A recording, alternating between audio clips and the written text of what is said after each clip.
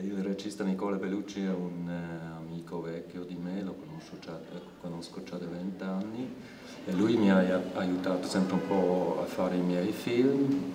Eh, quando lui mi ha proposto di fare questo film era la sua idea, ho detto subito sì perché mi sembra, sembrava una storia abbastanza interessante e eh, anche importante. Cioè l'idea era sua perché lui è di Poppy, dove questo Wolfgang Fassler adesso vive, cioè loro si conoscevano già da, anche da 15 anni e lui ha sempre pensato che sarebbe una storia importante da raccontare. Abbiamo sviluppato il progetto un po' insieme, poi ho fatto anche il montaggio insieme a lui. Comunque lui è il regista, però come produttore non mi interessa di seguire progetti da lontano, io voglio essere coinvolto e credere nel progetto. E, lavorare, fare tutto che è necessario. Per trovare i soldi era abbastanza facile, devo dire, cioè 3-4 mesi, poi tutto era al posto, però poi abbiamo girato per praticamente due anni e montato per, altro, per un altro anno anche di più, cioè abbiamo lavorato tre anni e mezzo, quattro anni. Daisy-Aufnahme wird vorbereitet. Fertig. Benutzereinstellungen. Tonquelle. Line in.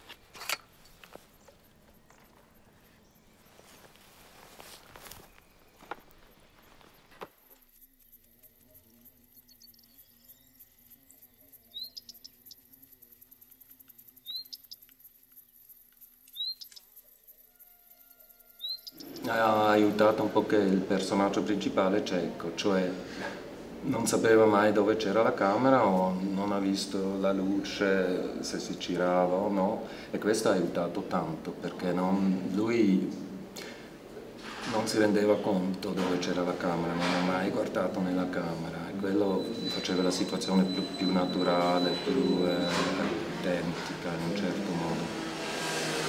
È chiaro, anche i bambini, eh, quello grosso, Ermanno, lui si rendeva conto della camera, alcune volte anche cominciato a giocare, un po' a fare delle, come si dice, grimasse, però anche gli altri dopo un attimo si erano abituati alla presenza della camera, cioè questo non era un problema.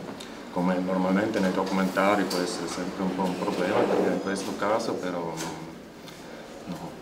No, all'inizio abbiamo anche girato tutta la sua storia personale perché lui veniva dalla Svizzera, cioè abbiamo anche girato abbastanza materiale sulla sua gioventù, su quel paese da dove viene, chiamato Clarone, e lì erano momenti speciali, però poi abbiamo deciso che il film, eh, per il film non funziona, diventa troppo di raccontare tutta la storia, poi abbiamo concentrato su, su, su questo atelier con i bambini, però tutte, tutte, queste storie che ha raccontato, come era di diventare cieco, come lui ha vissuto come giovane, vedendo e non vedendo allo stesso tempo, perché aveva questa malattia, sarebbe un altro film, era veramente interessante, però era troppo.